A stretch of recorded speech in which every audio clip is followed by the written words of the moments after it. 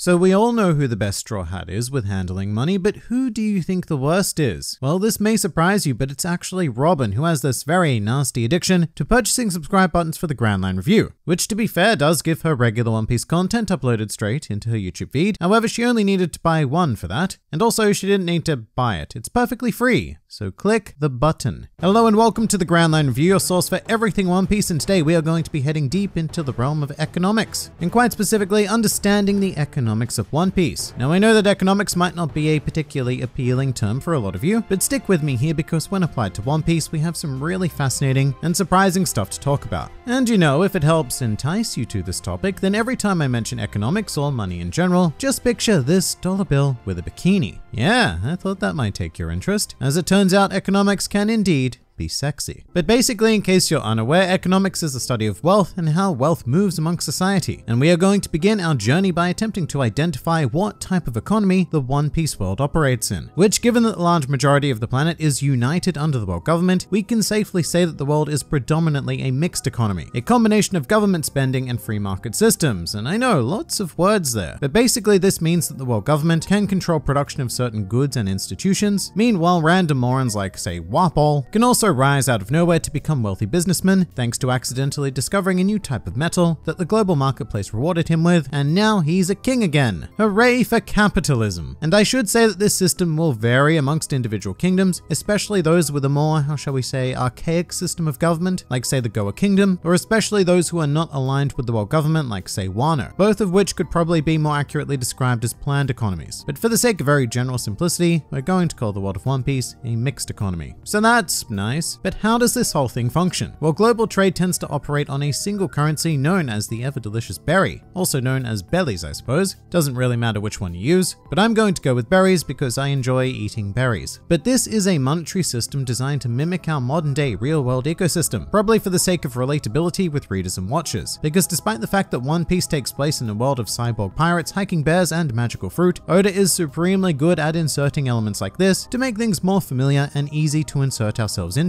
But berries are of course a fiat system, which basically means bits of paper imbued with imaginary value. Ooh, value which is also wildly elastic, denoting that its exact value is liable to change in response to any number of global events. With that said, the value of the berry seems to be fairly consistent in One Piece and is very much based on the Japanese yen. So much so that to work out the exact value of a berry in your local currency, you could effectively just convert using yen as your basis. So for example, in One Piece, we have seen that the going price for a cabbage is 150 berries, which using the yen conversion ends up being about $1.40 United States dollar dues of course. And from here on out, anytime I refer to dollars, just be aware that I mean American dollars. And admittedly, I don't know how much a cabbage costs in the US, but $1.40 feels just a little bit too cheap to me. However, that's not necessarily a problem, so long as the value is consistent within the One Piece world itself. And we can take other examples to help explore this, one of which is Hatchan's Takoyaki, which was priced at 500 berries per serving, meaning that it would be worth about three and a half cabbages, or we could even look at the bigger picture at the estimated value of the Sandai Kitetsu, for example, which Toshigi appraised at 1 million berries, which would be the value of well over 7,000 cabbages. So it is fairly safe to say that there is some sort of internal consistency when it comes to the value of a berry. But the more fascinating thing about the berry is that it is, for all intents and purposes, a global currency. We'll get into some exceptions, of course, but there are at least over 170 countries in this world who trade using the berry. But in addition to that, there are also many nations not affiliated with the world government who also use the berry, such as Fishman Island. Here we saw Nami visit Pappag's clothing store, and a clerk stated that an item of clothing was 10,000 berries, which using the rough conversion would equate to about $93. And then Nami, quite rightfully in my opinion, complained about how expensive that was, but then again, Criminal is a brand name outlet, and that was probably to be expected. The greater point is that the dominance of the berry is such that most open nations are more or less forced to adopt it as their local currency. However, this does not apply to isolated countries like Wano, for example. Their currency is gold, silver, and platinum coins, but they only trade within their borders. Similarly, you can look at Amazon Lily, because despite Boa Hancock being a warlord of the sea, this is a closed nation, and the Kuja tribe have their own currency known as Gore. Another interesting example though would be Skypiea, because they are generally open to visitors from the Blue Sea, but they use their own currency known as Extol. And not only that, but they have an established exchange rate with 10,000 Extol being worth exactly one berry. And so if you remember the Skypiea arc, Amazon, the station master of Heaven's Gate, said that the Straw Hats needed to pay 1 billion Extol to enter Skypiea safely, which is about 100,000 berries, which is roughly $930 per person, which is quite a lot, yes, but then again, international travel can be quite expensive. Also, fun fact, eventually Amazon also opened up an amusement park called Wakomu Land in honor of Usopp who introduced the Sky Citizens to rubber bands, tickets for which are 30 million Extol per person, which is about 3,000 berries and $28. So that actually sounds fairly reasonable. But Extol is one of the rare exceptions of the One Piece world, which is, as stated before, dominated by the berry currency. And while one global unit might seem like a nice and simplistic idea, it actually brings a whole ton of issues with it. Namely that individual nations have next to no control over their greater financial positions. So what do I mean by that? Alright, let's begin a very long-winded example and say that for argument's sake, Dressrosa had its own currency. We'll call it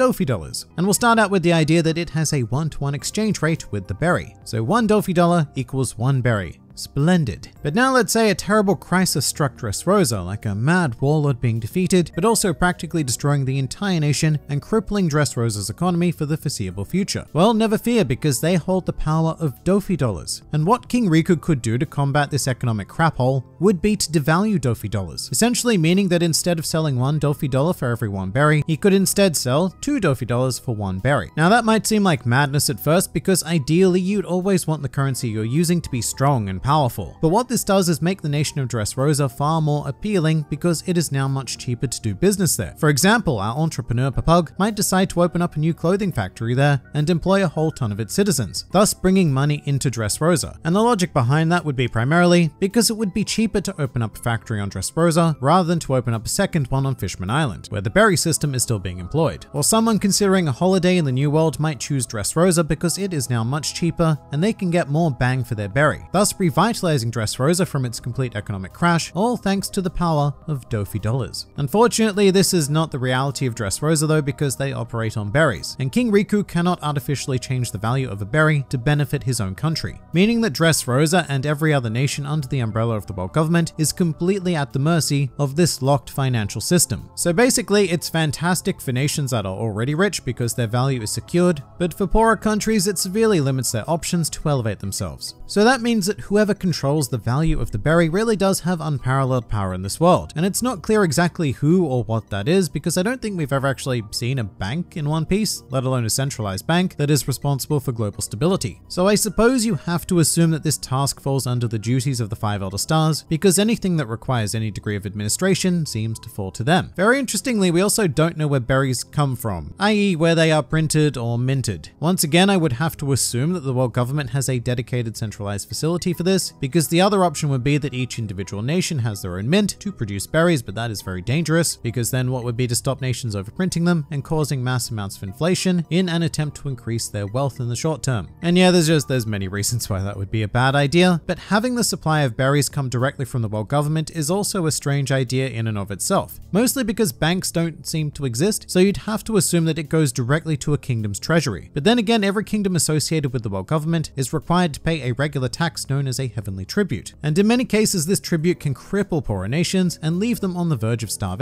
so in this case, the world government would be printing money, then distributing it to kingdoms for the sole purpose that they can have that money handed straight back to them. And that sounds oddly pointless, but hey, that's the wonder of circulation. But one thing I would like to do is give us all a basic impression of just how much money might be out there in the One Piece world, and we're going to do this by attempting to calculate the annual budget of the Marines. And we're going to do this in a very roundabout and not at all scientifically sound way, but to begin we need to find the average salary of an enlisted Marine. And given that berries correspond strongly to Japanese yen, we are going to use the wages of a soldier enlisted in the Japanese Special Defense Forces, which is just over 2 million yen annually for a lifelong enlistment, which is the model that the Marines tend to follow. So we're going to choose that as well. Amazing. So let's assume that the annual wage of the average Marine is this many berries. Now we need to find out how many Marines there are, which is not at all an easy thing to determine. There is an awful lot, and the only solid number we really have is that 100,000 foot soldiers were summoned to Marineford in order to participate in the Paramount War. And I need to emphasize that this is definitely not the full extent of the Marines, nor is this going to account for basic pay increases as you move up the ranks, but the very rudimentary estimate of the annual cost of these 100,000 soldiers would be this ungodly number, which I think is 203 billion 808 million berries. And that would equate to just under $2 billion.